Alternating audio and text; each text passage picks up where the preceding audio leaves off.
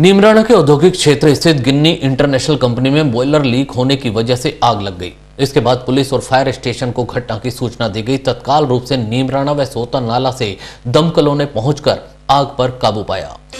गिन्नी international company में रुई से कपड़ा तैयार किया जाता है। बॉयलर लीक हो जाने की वजह से ऑयल में भी आग लग गई थी, जिससे कंपनी का लाखों रुपए का सामान जलकर राख हो गया। समय पर आग पर काबू पा लेने से कंपनी का भारी नुकसान होने से बच गया।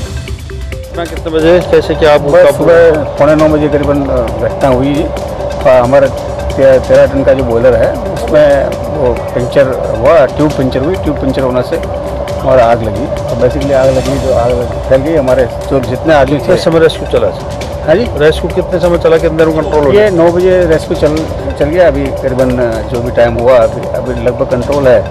90 परसेंट कंट्रोल है 10 परसेंट चेक कर रहे हैं कितना है। क्या है